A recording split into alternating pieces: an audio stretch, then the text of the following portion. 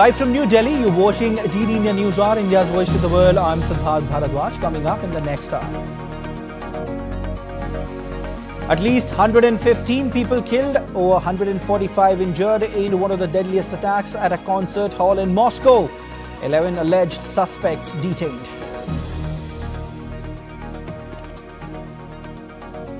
Prime Minister Modi returns to Delhi after successful visit to Bhutan.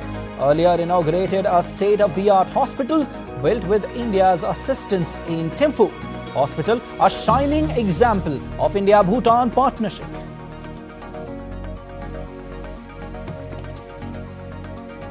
US Congress averts government shutdown, passes $1.2 trillion bill. Key federal agencies will remain funded through September 30th.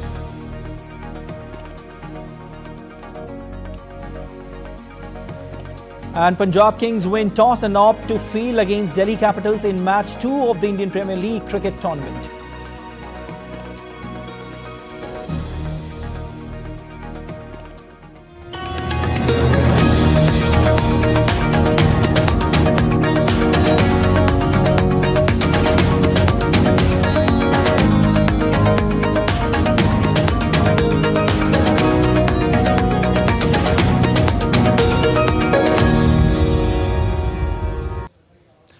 One of the deadliest attacks in Moscow, over 100 people were killed and over 145 injured after the gunman opened the fire at the concert hall.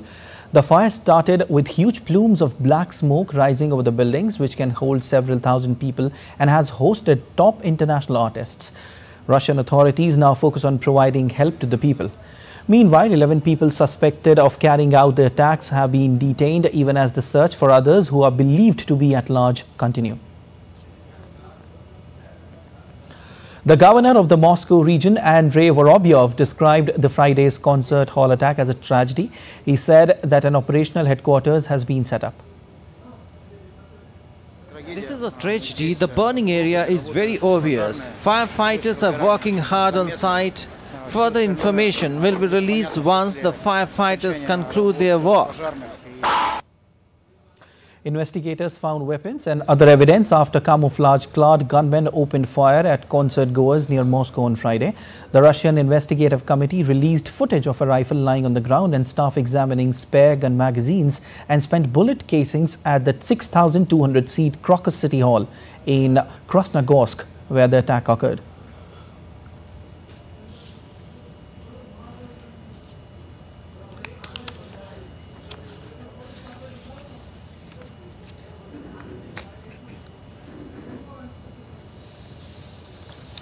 And DD India correspondent Dasha Chernyshova joins us live from Moscow for more details.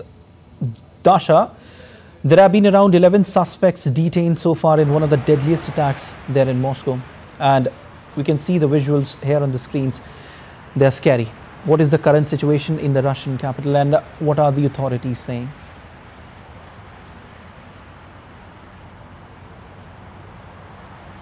Well, the security situation has been relatively calm here around Crocus City Hall after the fire has been taken under control. That allowed the recovery teams to get inside Crocus City Hall, and this is when they started to recover the bodies of the people who were trapped inside.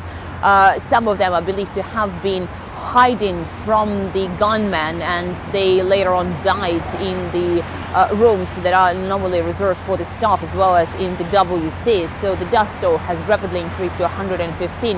And the governor of the Moscow region, Alexei Vorobyov, said that this will be rising quickly, certainly as the recovery effort is ongoing. They are recovering more bodies under the rubble. Now, speaking of the situation in terms of the investigation, the Russian authorities say they have found and detained 11 people who are believed to have been involved into this act of terrorism. Of them have been directly involved. Uh, they are said to have been uh, present at the time of the uh, shooting. We uh, have seen some videos released by social media, including some state-run social media, suggesting that one of the men has been interrogated and said he was forced to kill people in exchange for money. The authenticity of this video is yet to be established, but it is believed that the uh, that the uh, terrorists have tried to escape by taking a Renault car and driving all the way from the Crocus City Hall here in Moscow to the border with Ukraine in the Bryansk region, where FSB says they have wanted to cross it and to get to Ukraine. They say that these perpetrators had contacts on the Ukrainian side.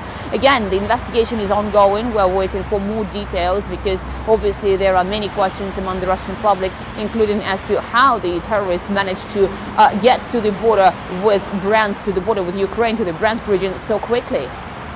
All right, Dasha. Uh, we've heard that all the events lined up in the nearby areas uh, where the attack took place have been cancelled.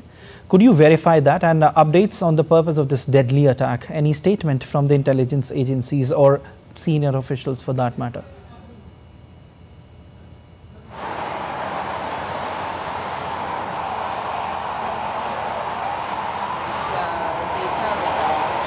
I can't hear you, Dasha.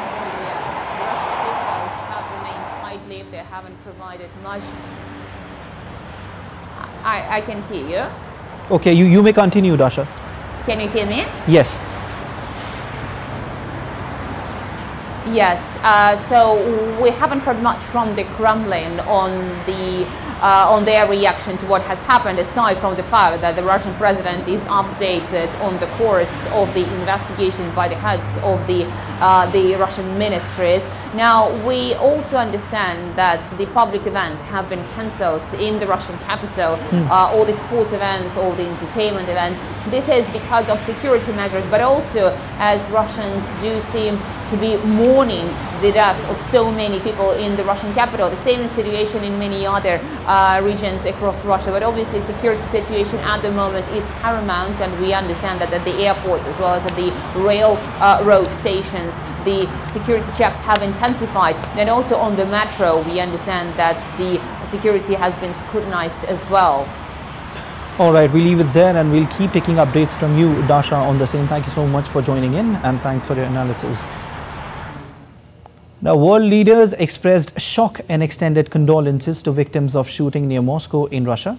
Condemning the attack, India's Prime Minister Narendra Modi said India stands in solidarity with the government and the people of the Russian. UN chief leaders from EU, Turkey and other world leaders too extended messages of solidarity with people of Russia in this hour of grief. Attack near Moscow at concert goers on Friday brought back the memory of 2004 Beslan school siege. The five gunmen dressed in a camouflage on Friday opened fire with automatic weapons at people at a concert in the Crocus City Hall near Moscow. Kremlin said Russian President Vladimir Putin was updated on the concert attack by FSB director. Putin wished a speedy recovery to those injured in the attack. Soon, global condemnation and messages of solidarity poured in. UN Chief, United States, and India's Prime Minister Narendra Modi, among others, condemned the attack and sent their condolences. The images are just horrible um, and uh, just hard to watch, and our thoughts obviously are going to be with the, the victims of this terrible, terrible shooting attack. India's Prime Minister Narendra Modi, in his social media post on X, said that we strongly condemn the heinous attack in Moscow. Our thoughts and prayers are with the families of the victims. India stands in solidarity with the government and the people of the Russian Federation in this hour of grief. United Nations Secretary General Antonio Guterres condemned in the strongest possible terms. According to a statement attributable to Deputy Spokesperson Farhan Haq, the UN Secretary General said the Secretary General conveys his deep condolences to the bereaved families and the people of the government of the Russian Federation. He wishes those injured a speedy recovery.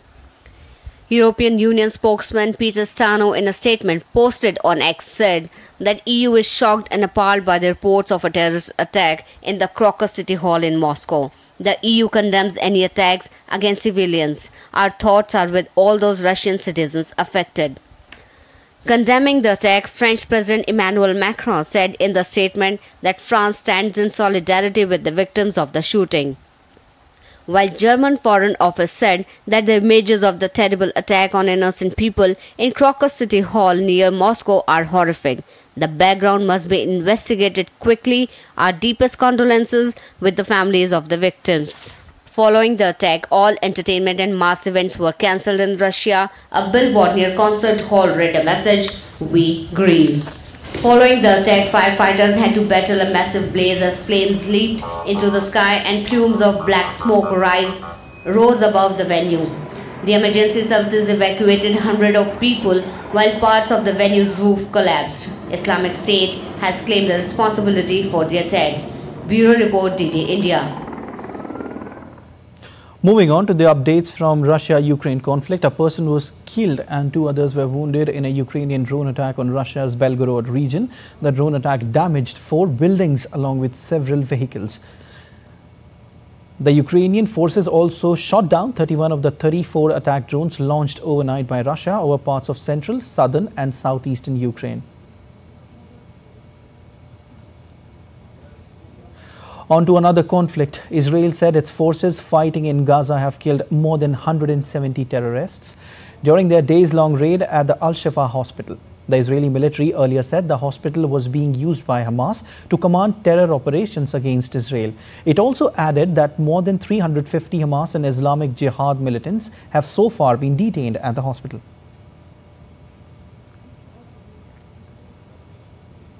Meanwhile, eight parcels were airdropped over Gaza delivering aid and relief materials. Also, the Israel's military has said that it had opened a new entry point for aid to enter Gaza and was allowing unlimited supplies into the enclave. But for now, countries such as the United States have sought to use airdrops and ships to deliver relief materials.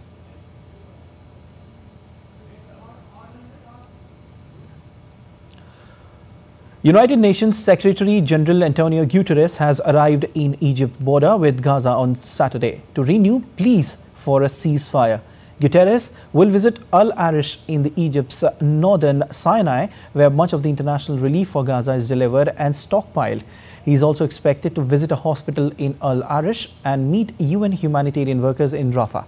His trip comes as Israel prepares to launch a major military operation in the southern Gaza city of Rafah.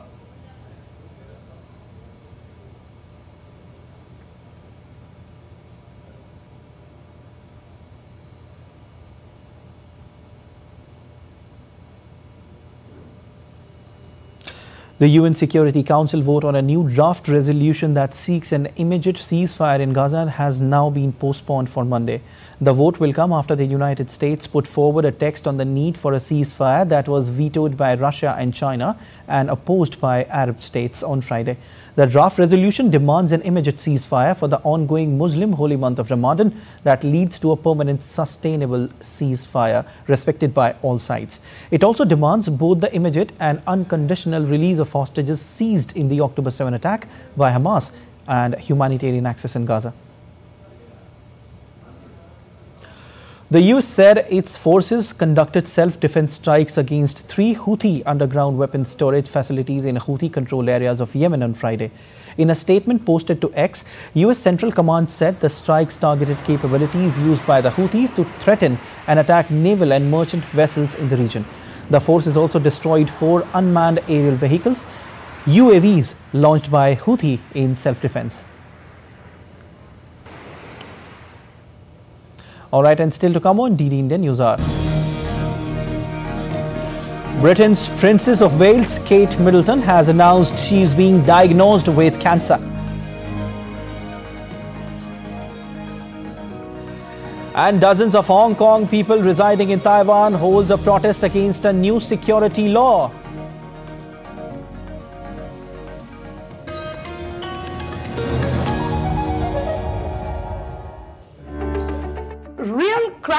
On corruption that the voters, the citizens of the country have been wanting and fighting for for decades, or as the opposition claimed, an effort to cripple the opposition. Timing depends on the detection of the corruption. Then the timelines are fixed by the law. I will say the opposition has crippled itself. The manner in which they chose the timeline of response for all these notices that were coming to them. In ED, when you are arrested, you are guilty until proven innocent. Now the twin condition is the court cannot give you bail until you are innocent. But how will the court know innocent? Because you don't go into the facts of the matter in the bail hearing.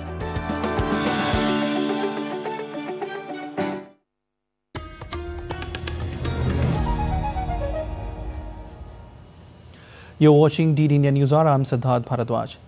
Britain's Princess of Wales, Kate Middleton, has announced she's been diagnosed with cancer. It follows weeks of speculation about her health after abdominal surgery earlier in the year. On Friday, Kate said she was undergoing preventative chemotherapy after tests taken after she had major abdominal surgery in January revealed that cancer had been present. In January, I underwent major abdominal surgery in London, and at the time, it was thought that my condition was non cancerous. The surgery was successful. However, tests after the operation found cancer had been present. The news of cancer to Britain's Princess of Wales, Kate, dominated the front page of Britain's newspapers on Saturday. A number of UK's tabloids and broadsheets devoted entire front pages to the revelation. Rumours and gossip on social media, in newspapers, and even some US talk shows have abounded since Kate underwent abdominal surgery in January. She had taken a leave of absence from royal engagements while she recovered from the surgery. Meanwhile, messages of support poured from world leaders on social media after Kate's cancer diagnosis. US President Joe Biden posted on X that he joins millions around the world in praying for her recovery.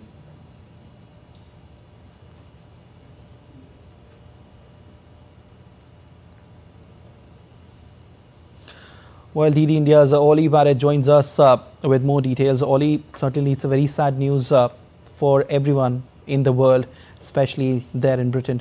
Uh, what is her recovery process right now, and what's the latest you're getting for us? Yeah, we actually have no more detail about uh, Catherine's prognosis and her exact cancer diagnosis than we have from her video message. She talked about undergoing preventative chemotherapy. She talked mm. about being in the early stages of that treatment, um, but no more detail about exactly the type of cancer that she is being treated for, or indeed the exact type of chemotherapy that she is therefore undergoing at the moment. In terms of clues about her potential prognosis in that statement from Catherine, she does talk about telling her children that she is going to be okay, talks about focusing on making a full recovery. And uh, all of the word that we are getting from royal sources is that she is optimistic and uh, in good spirits. But she also makes that call for privacy in that video message, which we've heard repeated by uh, politicians here in the UK, uh, backing her up on that call for privacy for her and her family. Um, uh, and clearly, there's going to be a lot of attention on Catherine in the weeks and months ahead. Uh, but what we don't know is um, how many, if any, really, updates we're actually going to be getting from Kensington Palace on how Catherine is getting on with her treatment in the weeks ahead. Definitely, Oli. Um, messages of support also pouring in from all around the world. Uh, U.S. President Joe Biden has also, uh, you know, put out a tweet saying that uh, you know she's uh, he's uh, praying for her speedy recovery. Uh, what else is happening? if you could just give us more details about you know who all are the world leaders who've been you know showing their support towards this towards her. Yeah, well, you mentioned that uh, message of support from uh, the US President Joe Biden. There have been others flooding in from world leaders around the world. The French President Emmanuel Macron paying uh, tribute to Catherine um, uh, while wishing her well with her treatment. And here in the UK, as you can imagine, um, uh, tributes are being paid and messages being sent by uh, politicians across the political spectrum, all of them uniting in showing their support for Catherine. But there's another element to it as well, which is that a lot of those messages from politicians here in the UK do criticise some of the media coverage of Catherine's health up to now, and also some of the conspiracy theories and rumour and gossip that have been circulating on social media. The opposition leader Keir Starmer here in the UK talking about the lurid mm. conspiracy theories and uh, uh, rumour on social media that have been going on. Uh, the Prime Minister Rishi Sunak talked about what he called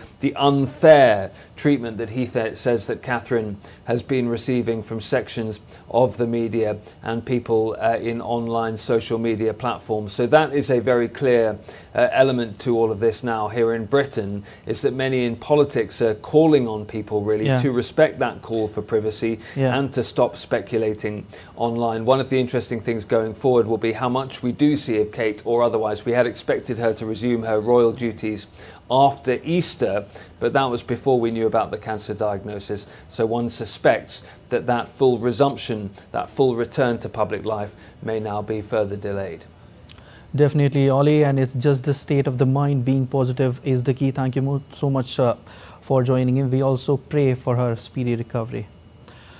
Now, Slovaks began voting in a presidential election on Saturday, where polls are open in the first round of voting from 7 a.m. until 10 p.m.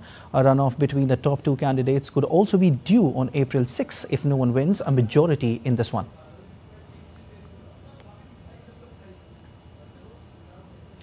Venezuela's opposition leader Maria Corina Machado has named Corina Yoris as her successor to take on President Nicolas Maduro in the country's presidential election in July.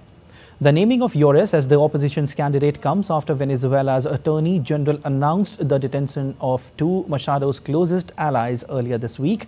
She also said that arrest warrants have been issued for seven other people.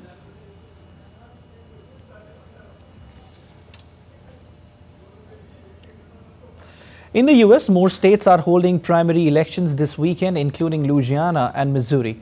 Presumptive Republican candidate Donald Trump and Democrat current President Joe Biden don't have serious challenges left, but these elections are a chance to see how strongly voters in those states support them. Caroline Malone reports. Louisiana is a strongly Republican and Donald Trump supporting state. Their governor, Jeff Landry, is among them.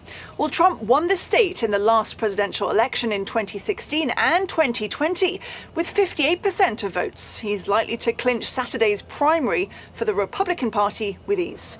Well, for the Democratic primary, there are options other than the current president, Joe Biden, which means they may take some votes away from him, including Marianne Williamson. Well, there are nearly 3 million registered voters in Louisiana, with just over a third of those turning up to vote in previous elections. Voting is open until 8 pm local time, with results due shortly afterwards. Well, on Saturday, there was also a Democratic primary in Missouri. Republicans already held their caucus there and chose Trump. For Democrats, there's also an uncommitted option on the ballot, so rather than choosing Biden as a sort of protest vote against his policy on Israel and concern over the humanitarian crisis in Gaza. And any kind of vote in that direction could signal how big a problem it continues to be for his campaign. Results there are due early next week. Well, there are now 149 days left until the Democratic National Convention, when Biden is likely to be officially nominated as their candidate, and 114 days until the Republicans hold theirs in Milwaukee. Caroline Malone in Washington for DD India. Meanwhile, US lawmakers passed on Saturday a $1.2 trillion spending package to avoid a government shutdown. The budget bill will keep the government funded for the next six months until the end of the fiscal year. The vote on passage was 74 to 24. The US Congress sent it to President Joe Biden to sign into law and avert a partial shutdown. Tonight, we have funded the government with significant investments for parents and kids and small businesses and healthcare workers, military families, and so much more. It's no small feat to get a package like this done in divided government. These past few months have shown yet again that when bipartisan has room to work, we can get the job done.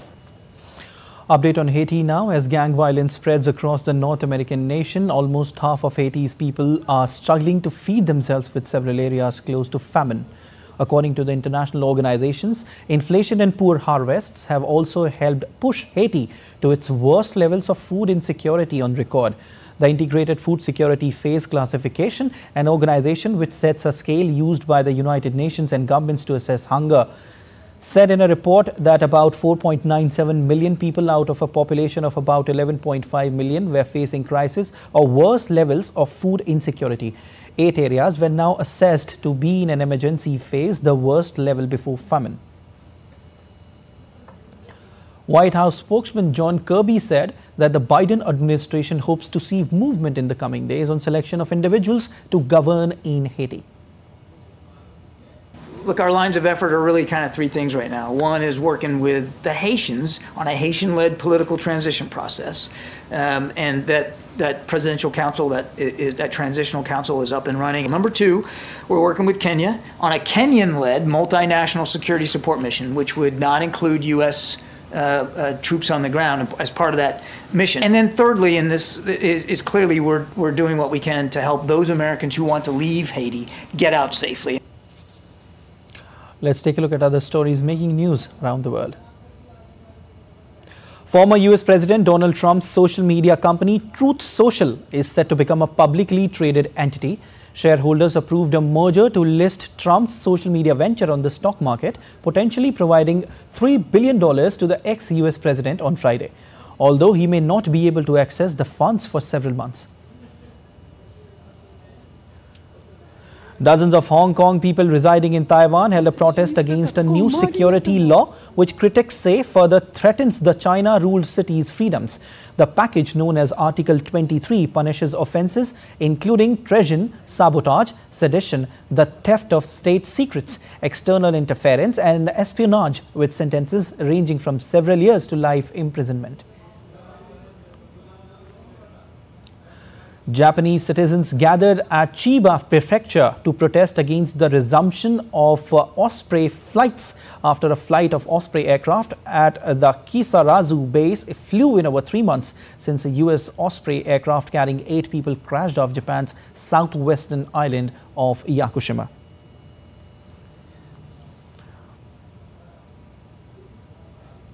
And thousands of Thai devotees gathered at the Wat Bang Phra temple near Bangkok to attend a spiritual tattooing ritual and pay respect to the revered tattoo master Luang Phor Pern, a spiritual tattooist who passed away in 2002 but still has a strong following, particularly during the annual ceremony.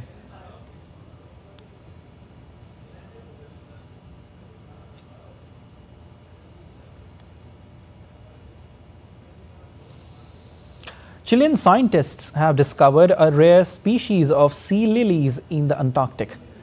A specimen was first sighted during an expedition by the Chilean Antarctic Institute to Vega Island in the Sea of Weddell in early January 2024.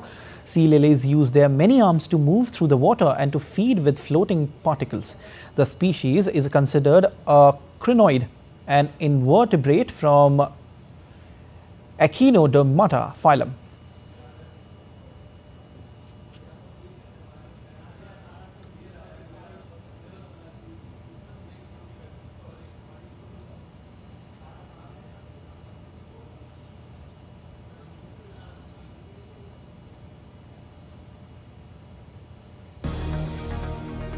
Well, still to come on the DD India News Hour. Indian naval ship Kolkata, which was deployed for anti-piracy operations, arrives in Mumbai today with 35 Somali pirates on board.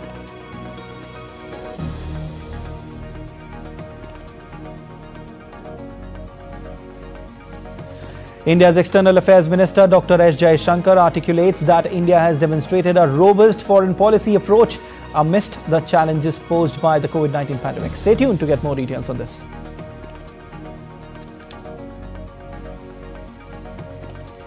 Tensions escalates in South China Sea after China's Coast Guard takes steps against Philippine vessels.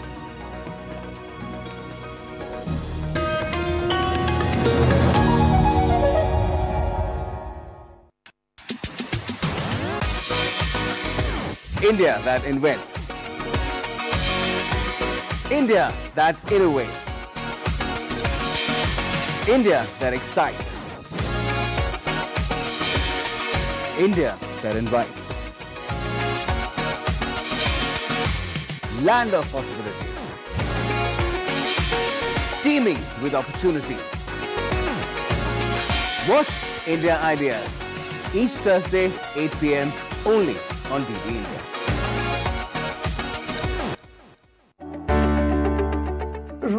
Crackdown on corruption that the voters, the citizens of the country have been wanting and fighting for for decades, or as the opposition claims, an effort to cripple the opposition. Timing depends on the detection of the corruption.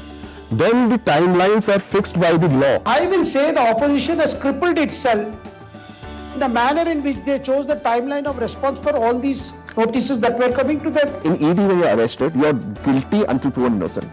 Now the twin condition is the court cannot give you bail until you are innocent. But how will the court know you're innocent? Because you don't go into the facts of the matter in the bail hearing.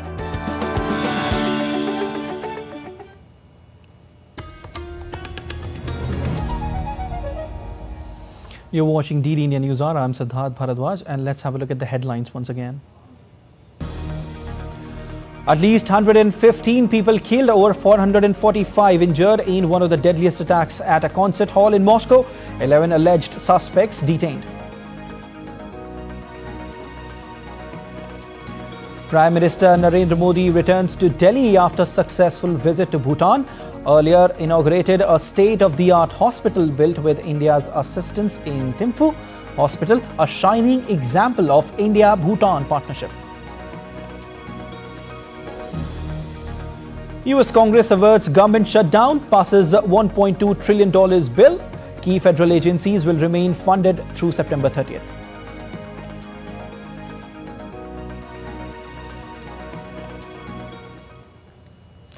India's Prime Minister Narendra Modi arrived in Delhi on Saturday after a successful state visit to Bhutan.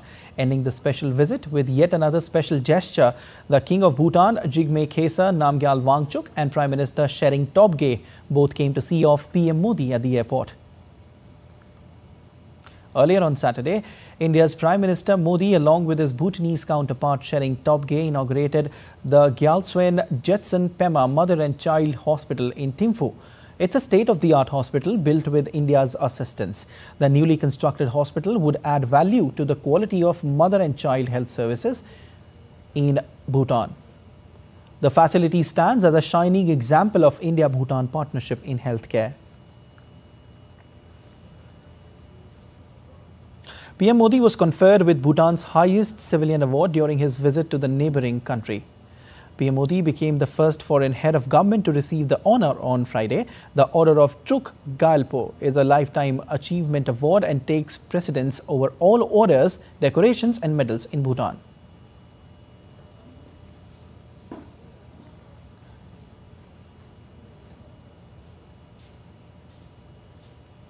On a two-day visit to the Himalayan kingdom, Prime Minister Modi announced further support of 10,000 crore rupees or 1.25 billion US dollars to the neighboring country's 13th development plan. Prime Minister of Bhutan Tshering Tobgay extended his gratitude to India's Prime Minister Narendra Modi for rupees 10,000 crore assistance to the Himalayan nation. Bhutan was honored to receive Prime Minister Narendra Modi ji on a two-day state visit to Bhutan. The two-day state visit couldn't have gone any better. He was welcomed with open hearts by every citizen of Bhutan. And uh, this visit, this historic visit, is going to further strengthen the already strong relations between our two countries and our two people.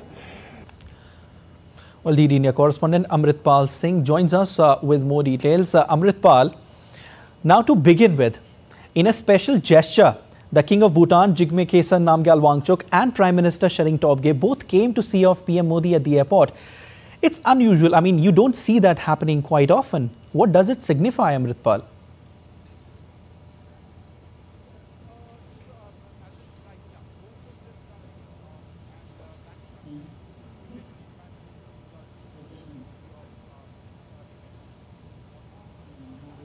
Amritpal, can you hear me?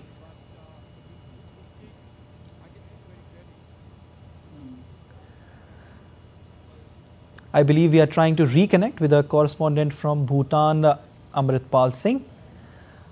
Amritpal, can you hear me? All right, uh, we'll try to reconnect with our correspondent Amritpal Singh. Meanwhile, India's External Affairs Minister Dr. S. Jaishankar, who is on a three nations visit, began his Singapore visit by paying homage to Netaji and the brave Indian National Army soldiers.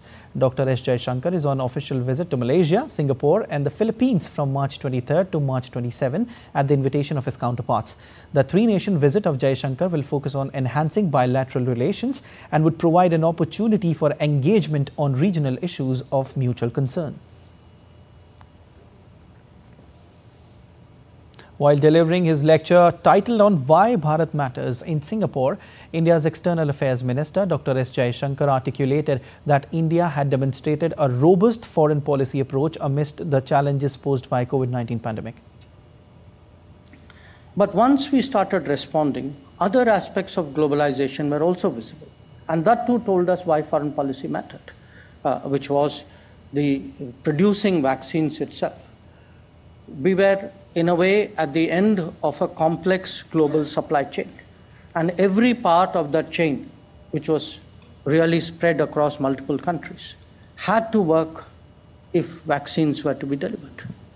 And one of my most uh, memorable, I mean, I would say actually honestly stressful uh, uh, memories of that period were going uh, to the US uh, in, in uh, 2021 uh, with a binder this thick about all the orders that had been placed uh, across the world, but in one way or the other, which went through the US. And, you know, until those were cleared, really the global supply chain for vaccine production wouldn't work. Jaishankar said that the current conflicts in Ukraine and the Red Sea have affected the supply chain, impacting India's energy requirements. Now, there was a time when conflicts could happen. It could happen somewhere else, and we are in a different part of the world, and you know its impact on us. Yes, we read about it in the newspaper, we saw it on the television, and probably it stopped there.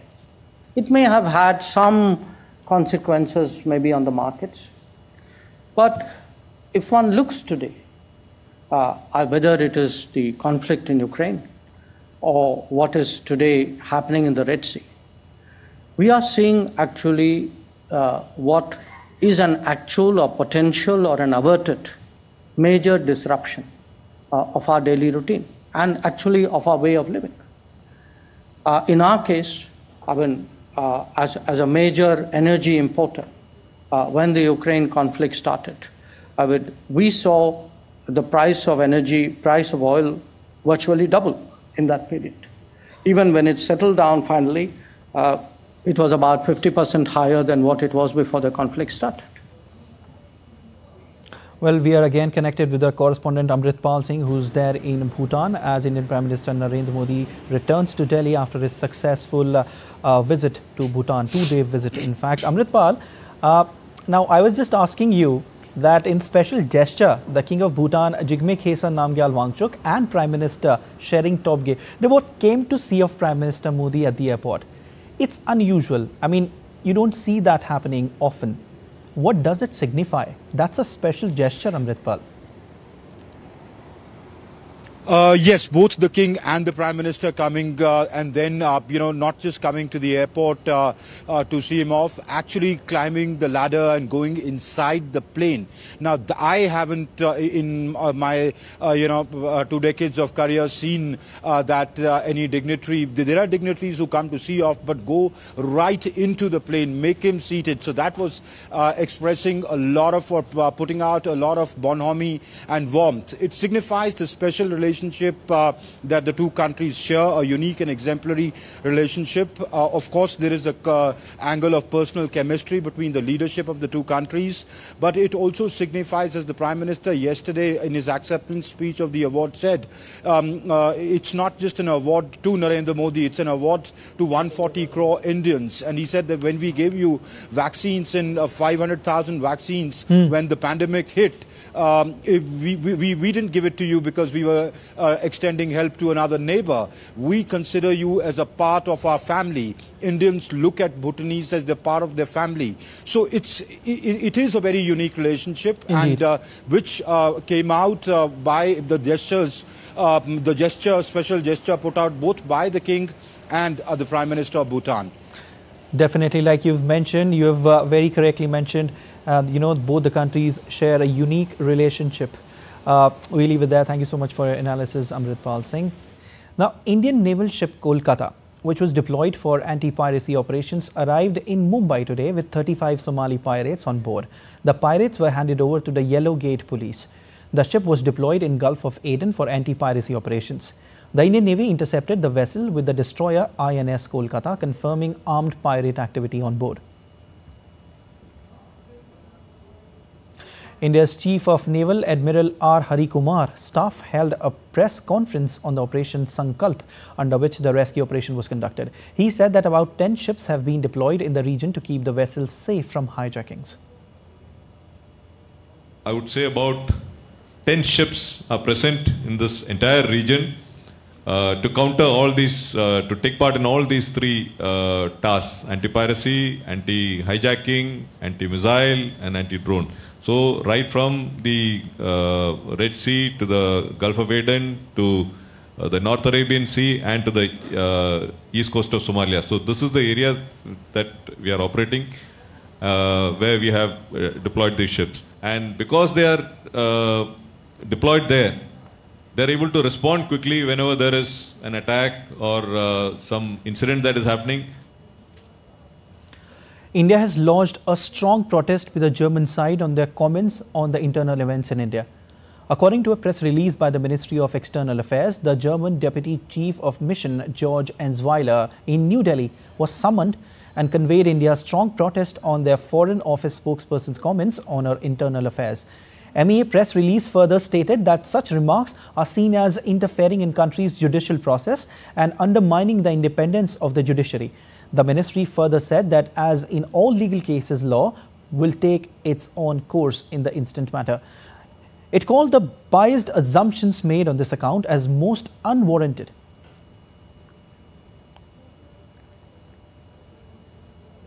All right, let's get you the latest on what's happening in India in the run up to the world's largest democratic election in India.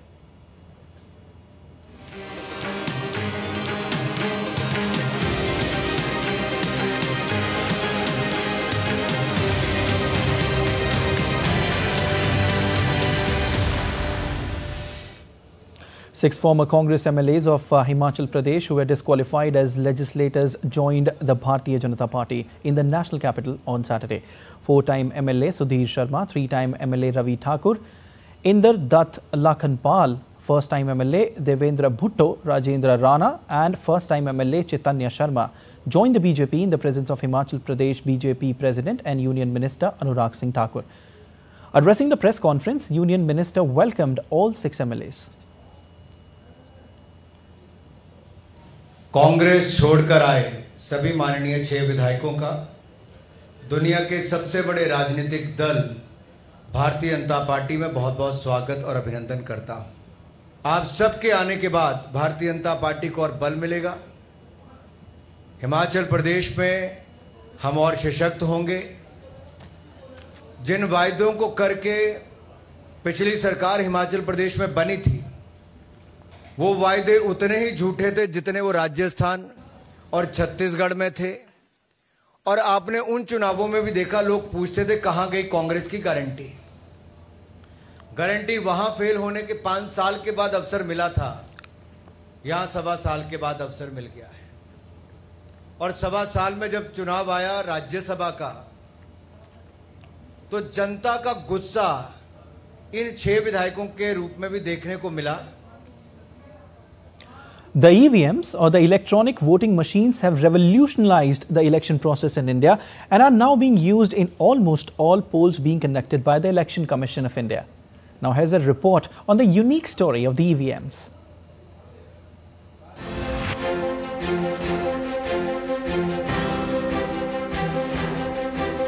Electronic voting has become a hallmark of elections in India. Voting is done through the electronic voting machine or the EVM, which is a device used to electronically record and count votes. The Indian EVM system is also called ECI EVM, meaning an EVM specifically designed, manufactured indigenously, and used as per the Election Commission's rule. EVMs were first used in the Parur Assembly constituency in the southern state of Kerala in 1982 they were used in all 543 lower house constituencies during the 2004 general elections. An EVM consists of the ballot unit and control unit. To make the system more transparent, the voter verifiable paper audit trail or VVPAT was introduced. It was used across all the constituencies during the 2019 general elections. So, how does an EVM VVPAT work? People cast their vote by pressing the button on the ballot unit next to the name and symbol of the candidate of their choice.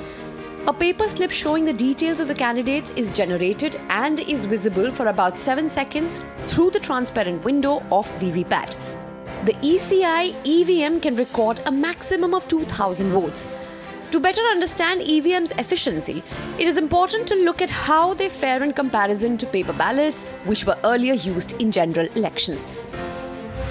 Since voting is done by pressing a button, there is no invalid vote unlike the paper ballot system, in which votes may become invalid due to improper marking. An EVM can record up to 4 votes per minute, giving security forces ample time to respond to any booth capturing attempt. In the paper ballot system, there have been incidents of ballot boxes being stuffed with fraudulent votes. Counting of votes recorded in EVMs usually takes less than a day, while in paper ballot systems, manual counting can last for weeks. The use of EVMs reflects the evolution of the Indian electoral process with changing times and technology.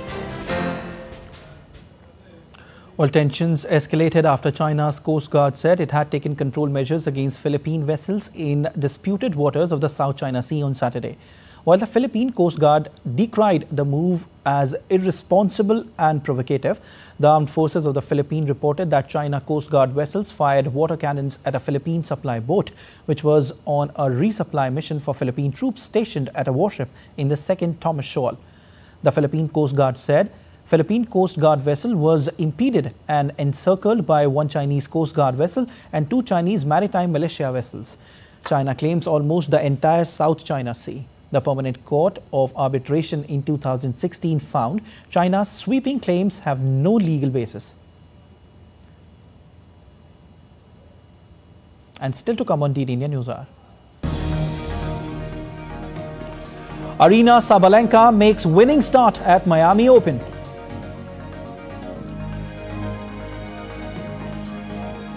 Euro 2024 Trophy Tour kicked off in Stuttgart in Germany with just less than 100 days left until the start of Euro Cup.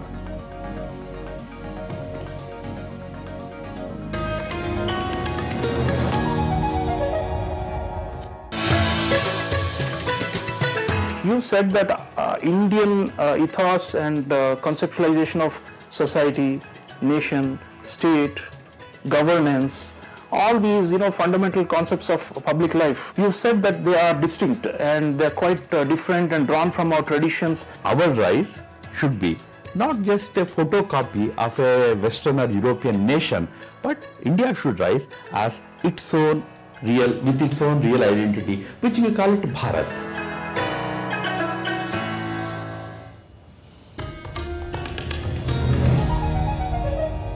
You're watching DD India News Hour. I am Siddharth Bharadwaj.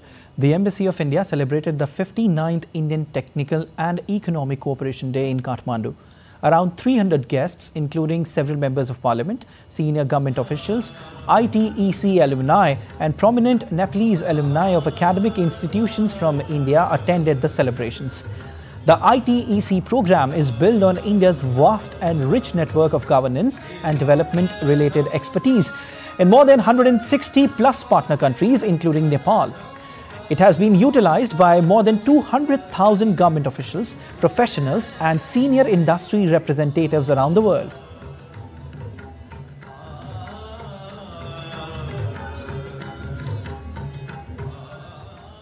India has always followed the policy of Vasudhaiva Kutumbakam in its foreign policy, which is the world is a family. That has been supplemented by Prime Minister Modi's vision of Sabka Saath, Sabka Vikas, Sabka Vishwas or Sabka Prayas. California-based tech giant NVIDIA showcased its next-generation graphic processing units, GPUs, and AI platforms at its annual technology conference. The work of a research team from Indian Institute of Technology, IIT Madras, was highlighted at the event. NVIDIA supports the research conducted by the Center for Computation Brain Research at IIT Madras by providing computing hardware, computational systems, domain-specific libraries, curated deep learning models, and other tools. This support is crucial for the center's large-scale multidisciplinary effort to map more than 100 human brains at a cellular level. NVIDIA Vice President of Healthcare Kimberly Powell praised the work being done by the Center for Computational Brain Research at IIT Madras.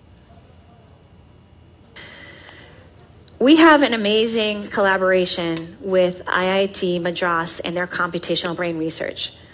They are announcing this week, and they're downstairs, or excuse me, across the hall in our exhibit hall, um, with it, their incredible new brain research platform called NeuroVoyager.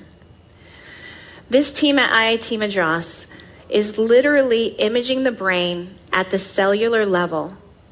Hundred, about a hundred brains. I think they're up to 50 today, going to a hundred creating not each brain image has well over between two and three petabytes of data.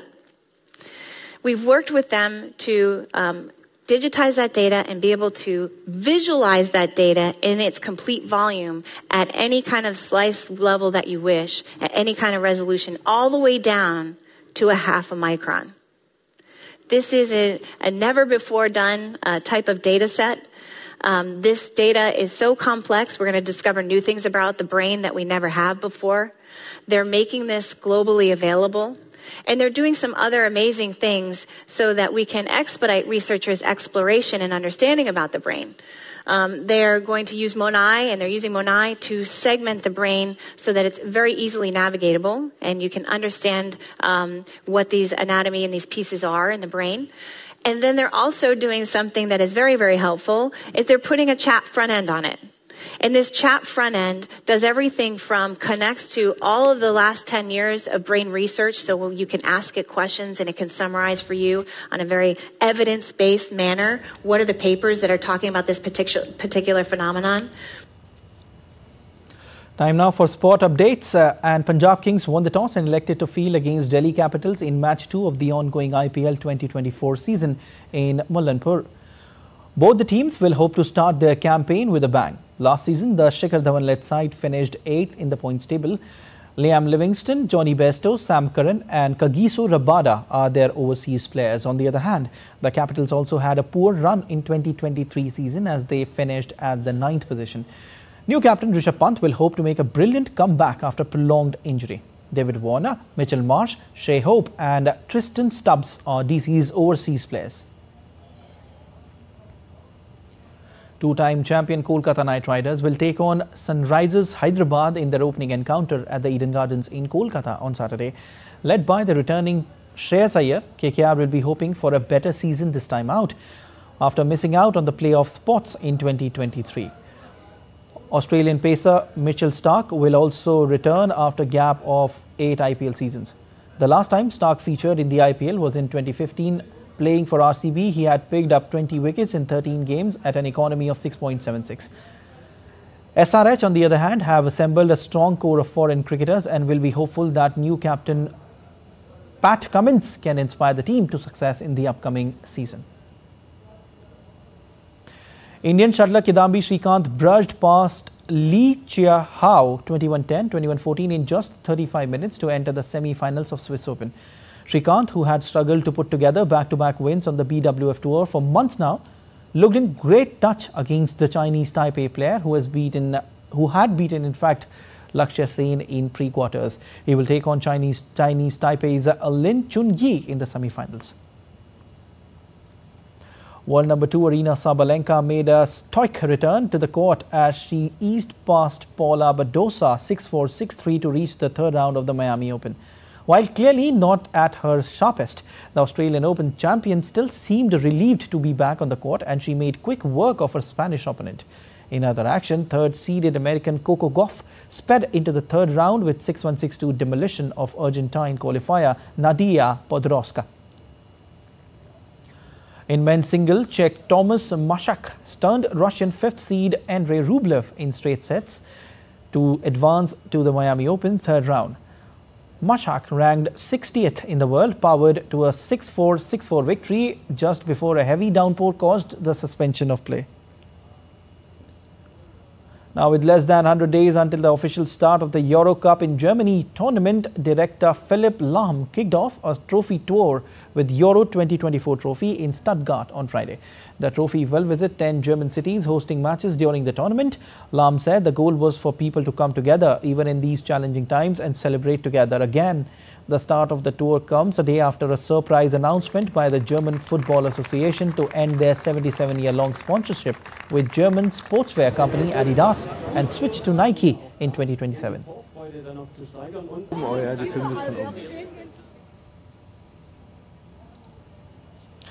The colourful festival of Holi was celebrated by the Indian Cultural Association in collaboration with the Swami Vivekananda Cultural Centre in Sri Lanka's Colombo. The event saw the enthusiastic participation of several hundred members of the Indian diaspora and local Sri Lankan residents. The colourful festival of Holi was celebrated by the Indian Cultural Association in collaboration with Swami Vivekananda Cultural Centre in Sri Lanka's Taj Vivanta at Colombo. Several hundred members of Indian diaspora and Sri Lankan nationals joined in the celebrations. Uh, today we are celebrating Holi 2024 uh, with around 350 people in here, a mixture of Indian and uh, Sri Lankans, a good friend of ours. We've actually flown in 40 kilos of gulal, that is the colors, and as well as uh, thandais, meeta pan and all the masalas, kala katas and everything and we are doing it in Taj Vivanta. For the occasion, the Indian Cultural Association made elaborate arrangements including flying in gulal from India, apart from arranging Indian cuisine. Plays on Bhakt Prahlad and Lord Krishna were also performed before the celebrations. The Festival of Colors was marked by everyone joining in splashing colors on one another and exchanging greetings.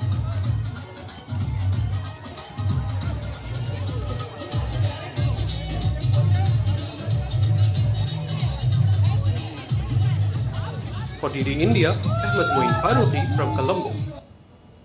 That's all for this edition of DD India News Hour. But let us know your thoughts on the news of the day. You can connect uh, with us on Facebook, X formerly known as Twitter, and Instagram. We'll be back with more news as it breaks here on DD India. I am Siddharth Bharadwaj from all of us here in Delhi. Thanks for watching DD India News Hour.